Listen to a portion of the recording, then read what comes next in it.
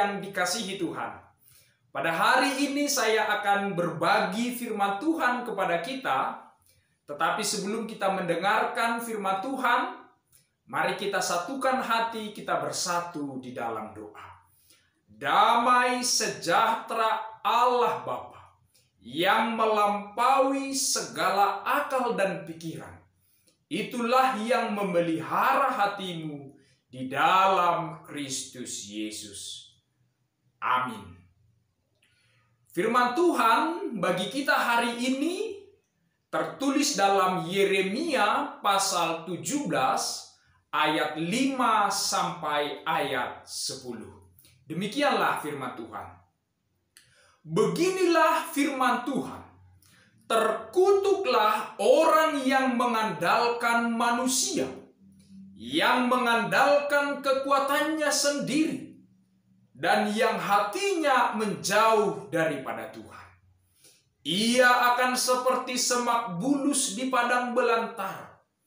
Ia tidak akan mengalami datangnya keadaan baik. Ia akan tinggal di tanah angus di padang gurun, di negeri padang asin yang tidak berpenduduk. Diberkatilah orang yang mengandalkan Tuhan, yang menaruh harapannya pada Tuhan.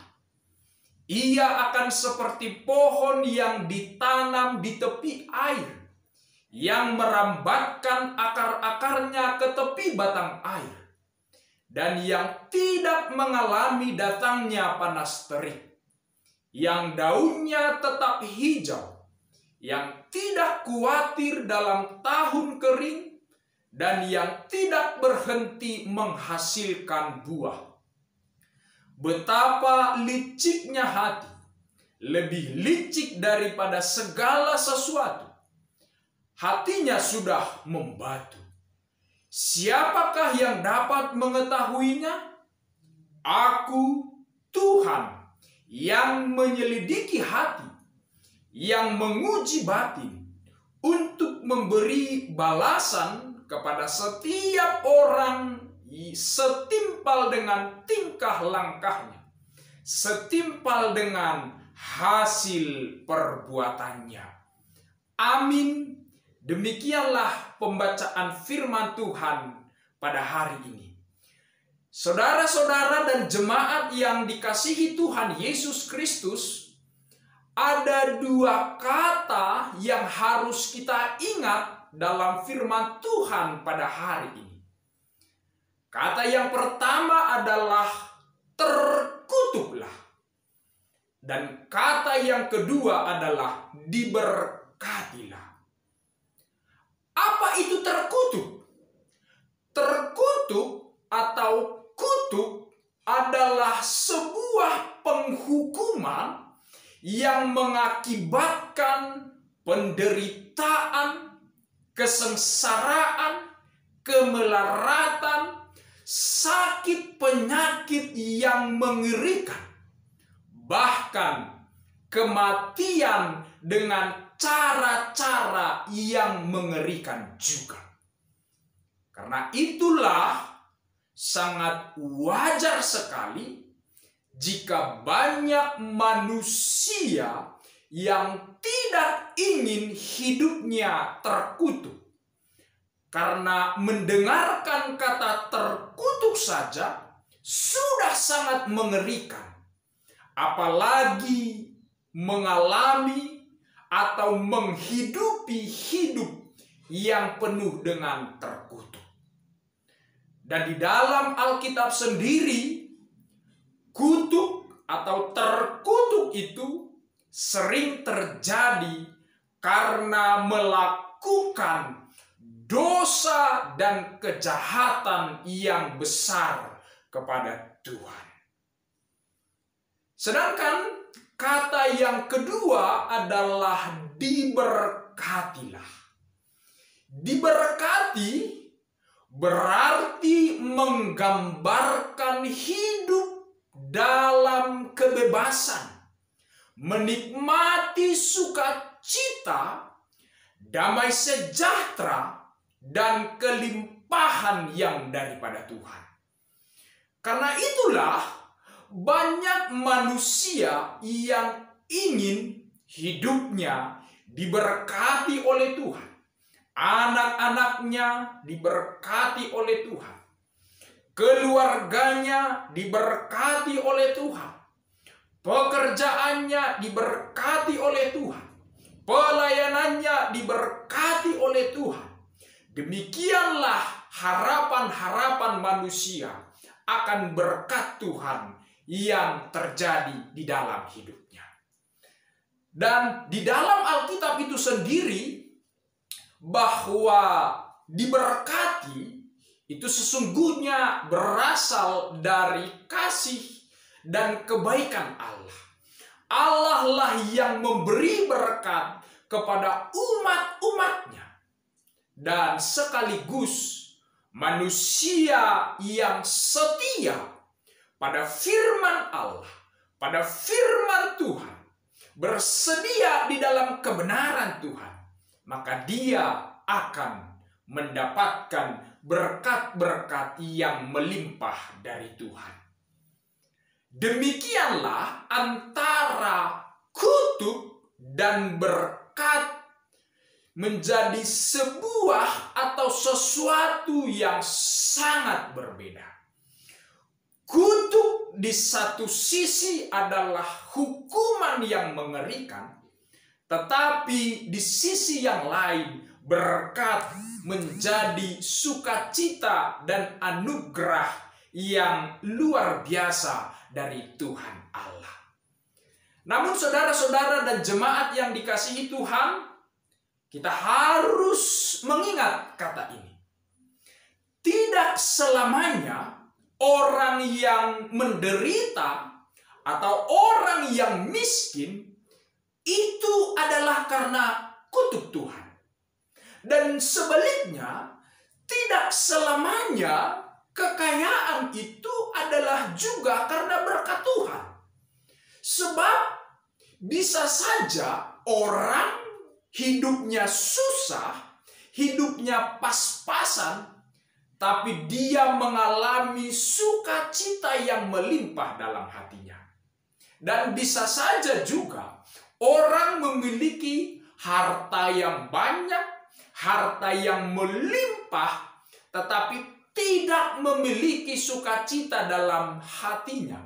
Tetapi yang terjadi dalam hatinya adalah ketakutan, kesombongan, dan kekhawatiran akan harta-harta yang dia miliki. Karena itu saudara-saudara yang dikasihi Tuhan, penanda utamanya adalah isi dalam hatinya, bukan isi dalam dompetnya. Jadi isi dalam hati itulah penanda berkat Tuhan dalam hidup kita. Tetapi saudara-saudara yang dikasihi Tuhan, kalau kita lanjutkan firman Tuhan hari ini, siapakah yang dikutuk? Atau orang seperti apakah yang terkutuk itu? Pada firman hari ini ada tiga jawabannya. Orang yang mengandalkan manusia, orang yang mengandalkan dirinya, dan orang yang hatinya jauh dari Tuhan. Namun perlu kita bertanya pada ayat ini. Apakah ketika kita berharap pada pertolongan orang lain atau kita memaksimalkan potensi yang ada dalam diri kita untuk mencapai sesuatu, untuk meraih sesuatu itu adalah perbuatan terkutuk? Apakah itu tidak dikehendaki oleh Tuhan? Karena itu untuk menjawab pertanyaan ini kita harus melihat ayat ini dalam konteksnya.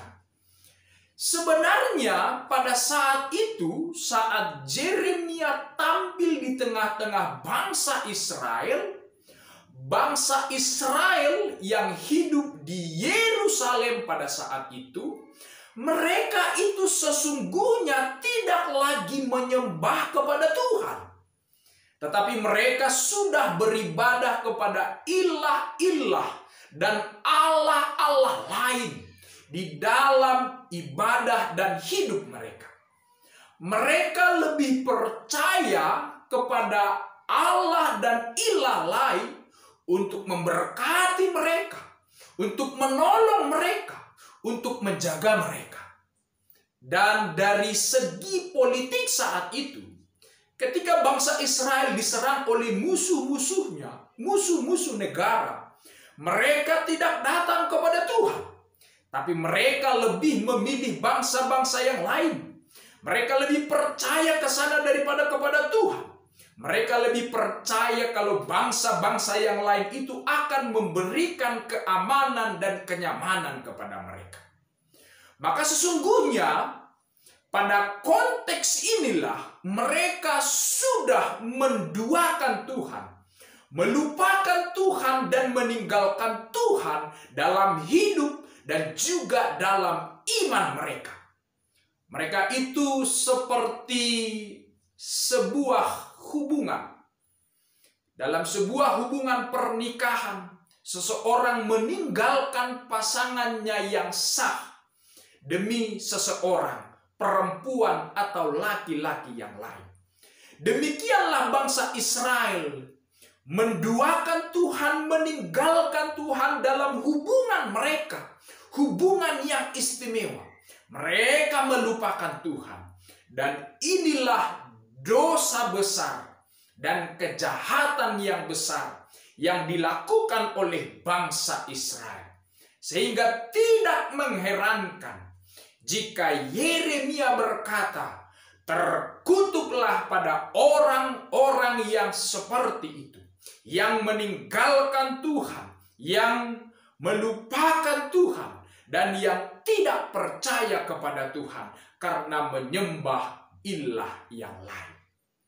Maka, apa akibatnya? Firman Tuhan hari ini berkata, ia akan seperti semak bulus di padang belantara. Artinya orang yang terkutuk akan mengalami kesengsaraan dan kematian. Tidak ada lagi kehidupan baginya karena dia telah mendapatkan penghukuman. Dia sudah meninggalkan Tuhan. Maka saudara-saudara jemaat yang dikasihi Tuhan, Jangan coba-coba untuk mempermainkan Tuhan. Jangan coba-coba mempermainkan Allah. Sering sekali banyak orang berpikir melakukan kejahatan tidak terjadi apa-apa. Banyak orang melakukan kecurangan tidak apa pun yang terjadi. Ingatlah hari ini, Tuhan tidak pernah suka melihat kejahatan. Walaupun kejahatan itu dilakukan oleh umatnya sendiri. Dan yang selanjutnya, siapakah orang yang diberkati itu? Dalam firman Tuhan hari ini, orang yang mengandalkan Tuhan, yang menaruh harapannya pada Tuhan. Artinya adalah orang yang segenap hati, segenap jiwanya, segenap hidupnya percaya kepada Allah. Itu berarti saat dia susah, saat dia senang, dia tetap beriman kepada Tuhan. Saat doa-doanya terjawab, ataupun saat doa-doanya tidak terjawab, dia mampu mengakui kedaulatan dan kebesaran Tuhan di dalam hidupnya. Itulah orang yang beriman dan itulah orang yang diberkati oleh Tuhan. Sehingga apa yang terjadi pada orang-orang yang diberkati oleh Tuhan? Firman Tuhan katakan hari ini, ia akan seperti pohon yang ditanam di tepi air ia akan mengalami kelimpahan. Bukan semata-mata kelimpahan hanya soal materi, tetapi kelimpahan dalam sukacita. Pelimpah kelimpahan dalam pengharapan. Kelimpahan dalam damai sejahtera. Sehingga orang-orang yang seperti inilah yang selalu bersuka cita menjalani kehidupannya. Ingatlah saudara-saudara yang dikasihi Tuhan.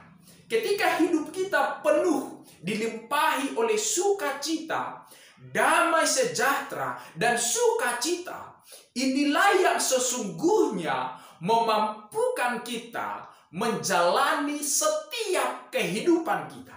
Saat kita bergumul, saat kita susah, saat doa-doa belum dijawab oleh Tuhan, kita akan dimampukan berjalan di jalan Tuhan.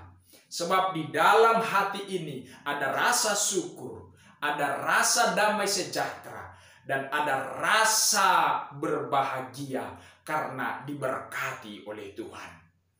Oleh sebab itu saudara-saudara yang dikasihi Tuhan, kita telah mengingat kedua kata itu. Maka hari ini bersama-sama dengan saya dan kita semua.